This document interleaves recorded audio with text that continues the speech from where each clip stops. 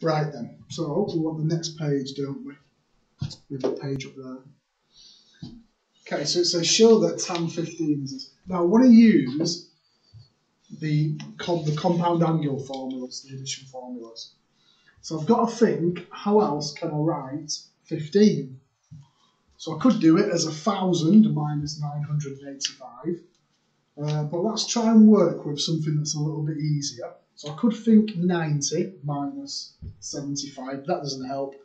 Uh, 30 minus 15. Ooh, is that going to help us? So I kind of want 30s, 60s, and 45s and 90s really. So let's go. Let's see that as being uh, 60 minus 45. Because they're ones, if I flip back one page, that's my page thing, I can I know what 60 and what 45 is. So I can use those values on my table. Right, so I'm going to see tan 15 then of tan of 60 degrees minus 45 degrees. You don't really get asked these. If they are, kind of like, you know, don't use your calculator type ones, show that it works. So I'm going to use tan A minus B. Phone's buzzing like crazy. Like Joe. Uh, so I'm going to use tan A minus B, which is tan A.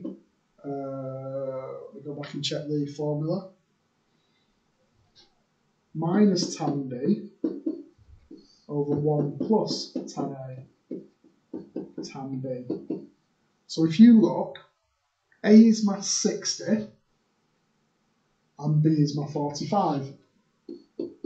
So tan of 60 minus 45 is tan 60 minus tan 45 over 1 plus tan 60 times tan 45. There. Right, so let's have a think. So we've got our exact values from the previous page. Uh, what is going on? Right, so let's have a quick, we'll do some flicking backwards and forwards. So we'll tan 60 and tan 45. So tan 60 is root 3, so remember that. And I've got 1. So root 3 and 1. So root 3 for 60, 1 for 45. Right then, so what have we got then? So root 3 minus 1 over 1 plus root 3 times 1. Right. So my tan 15, so what do we got? So we've got root 3 minus 1 over 1 plus root 3. If you stick that in your calculator, it'll surd it up. So it'll times 3 by 1 minus root 3 on the top and bottom. And you'll end up with 2. Now it's to show that, oof, here's a problem. It's to show that one. So if I just put that in, it means I've used my calculator.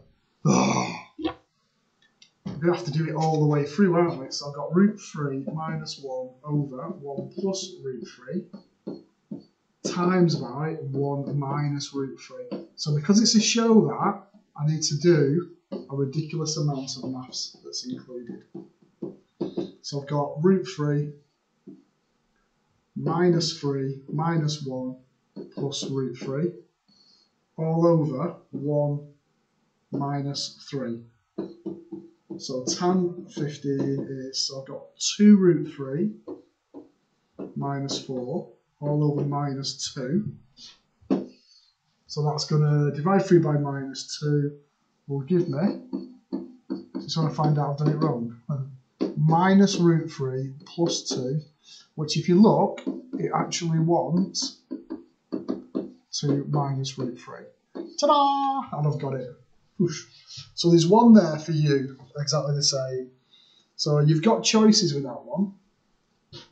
Uh, but I reckon the easiest way to do it is to see it as sine of 45 plus 30. So give that a go and see if you can do it. Okay. Tell me on four and a half minutes. Okay. So see if you can get that answer out using sine 45 plus 30. Right, so what we got? So we've got given that sine A is 4 fifths, cos B is 12 thirds. Whenever I see a fraction associated with a sine or a cos, I always think draw a triangle.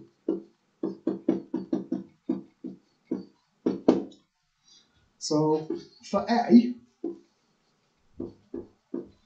so sine A, so opposite is 4, hypotenuse is 5.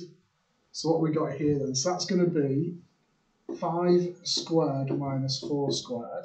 Well, it's a 3, 4, 5 triangle, isn't it, you divvy? It's a Pythagorean triple.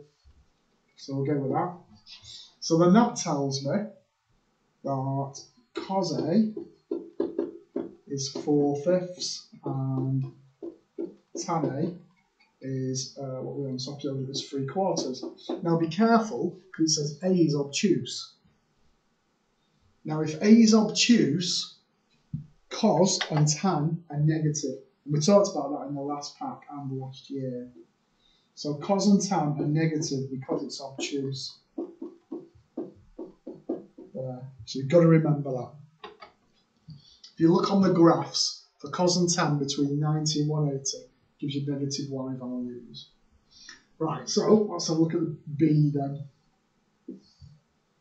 So B is adjacent over hypotenuse. Uh, so that's a Pythagorean triple as well, isn't it? 5, 12, 13 triangle. So if that's cos, then I know that sine B is opposite over hypotenuse, over the hippopotamus.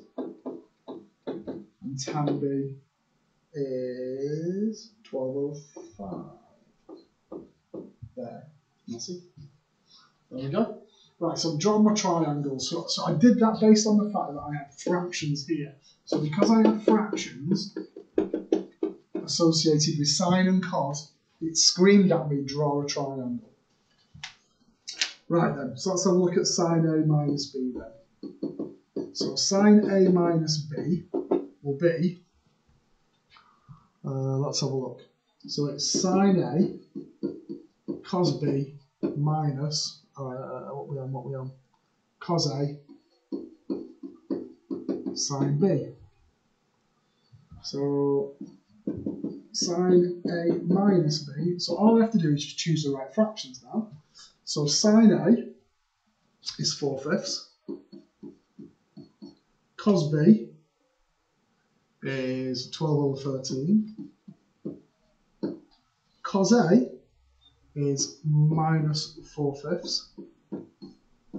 Sine B is 5 over 13. So if I put that in my calculator, it gives me a value of, uh, the completed pack says 63 over 65. There. So that's sine A minus B. So now, if I look at part B, so tan A minus B is tan A minus tan b. So I'm just using the formula 1 plus tan a tan b. So tan a minus b, check the time. So tan a is minus 3 quarters minus 12 over 5 over 1 plus tan a, which is minus 3 quarters, times by 12 over 5. Is that right? Put the numbers in the right place. That gives me minus 63 over 16. So that's okay, so that's part B. Right, so part C is cot of A minus B. So I know that cot, cot theta is 1 over tan theta. So I just need to flip it. So cot of A minus B is 1 over that. So it's minus 16 over 63. And that's that bit done. I've hit a point now where I'm going to stop on example 3. I'm getting tired anyway, so we'll maybe do a break. Right, I'll see you later.